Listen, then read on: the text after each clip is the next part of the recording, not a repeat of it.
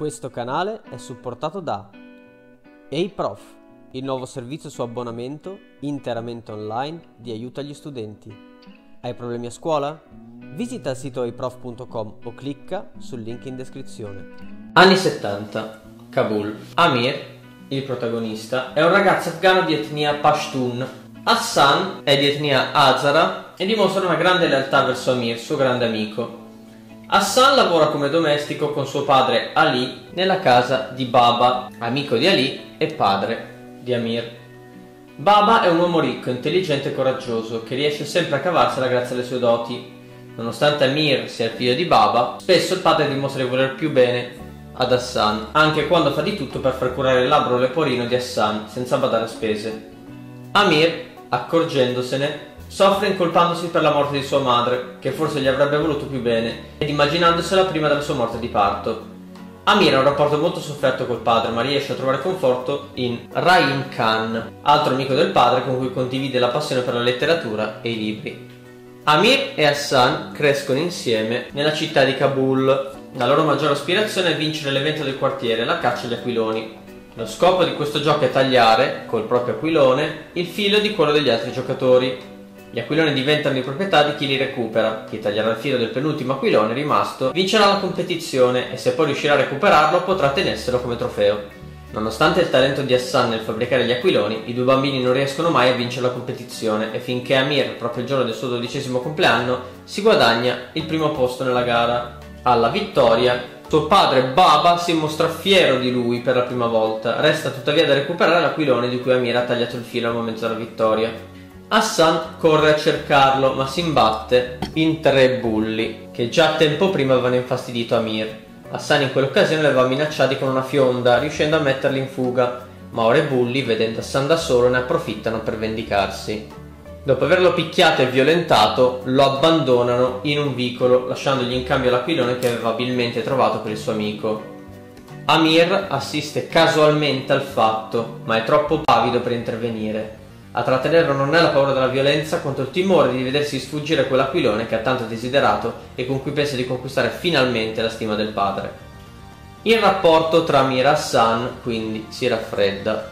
Amir si sente colpevole verso l'amico di cui in qualche modo non si sente degno, ma a lui prevalgono la gelosia e l'egoismo. Amir fa di tutto per allontanare Hassan da sé e da suo padre, arrivando ad inscenare un finto furto in casa. Hassan e suo padre vanno via dalla residenza di Amir, con grande rammarico di Baba che sembra soffrirne sinceramente. Nell'81, dopo la guerra in Afghanistan, Amir e suo padre sono costretti a lasciare Kabul. Trasferitisi negli USA, ricominciano una nuova vita, non senza difficoltà e disagi. Amir cresce e si laurea in lettere. Molto spesso però deve alternare lo studio al lavoro per aiutare il padre che si è riciclato come commerciante al mercato delle pulci dopo l'espatrio forzato. Proprio qui Amir si innamora di Soraya, una giovane benestante figlia dell'ex generale afghano Taheri. Amir e Soraya decidono di sposarsi. Il padre di lei si oppone alle nozze. Baba, che intanto si è ammalato di cancro ai polmoni, in un ultimo gesto di affetto verso Amir, convince il generale a lasciare che i due giovani celebrino il loro matrimonio. Baba morirà completamente in pace con il mondo per aver visto suo figlio sposarsi. Trascorrono diversi anni. Amir, ormai maturo, è uno scrittore di successo. Tuttavia non è felice in quanto non riesce ad avere figli con la moglie Soraya, nonostante la coppia non presenti sintomi di infertilità. Nel 2001 Raim, il vecchio amico di Baba, telefona ad Amir dal Pakistan dicendogli che c'è qualcosa che potrebbe fare per il suo amico di infanzia Hassan. Amir, da vent'anni preso dai sensi di colpa nei confronti di Hassan, torna in Oriente a Peshawar e incontra Raim, che gli racconta la storia di Hassan. Il bambino, una volta cresciuto, si è sposato ed ha avuto un figlio, Sohrab. Hassan e la sua famiglia hanno vissuto nell'ex abitazione di Baba una volta che loro se ne erano andati. Purtroppo Hassan e la moglie sono stati uccisi dai talebani per puro odio razziale e Sorab è finito in un orfanotrofio. Amir scopre inoltre che Hassan era nato da una relazione tra Baba e l'ormai defunta moglie di Ali, la sua domestica Hassan Aubar, e che quindi il suo amico d'infanzia era in realtà il suo fratellastro. Amir decide di cercare suo nipote con l'aiuto di Farid, da anni nuovo amico di Rahim dopo la partenza di Baba. I due si travestono da talebani e tornano in Afghanistan, al centro di Kabul, All'orfanotrofio scoprono che un talebano diverse volte ha portato via bambini e bambine che quasi mai sono tornati. Così Amir e Farid continuano a cercare Sorab contattando il talebano in questione durante un'esecuzione allo stadio.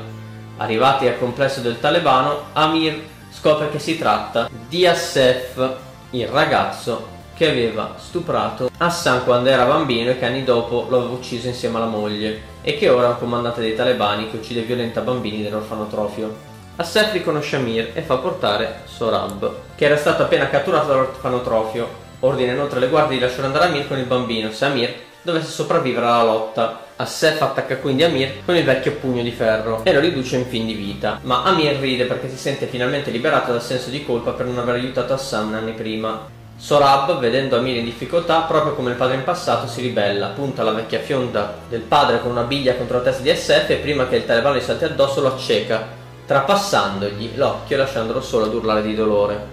Insieme, zio e nipote scappano e, con Farid, raggiungono il Pakistan, dove Amir viene ricoverato in ospedale.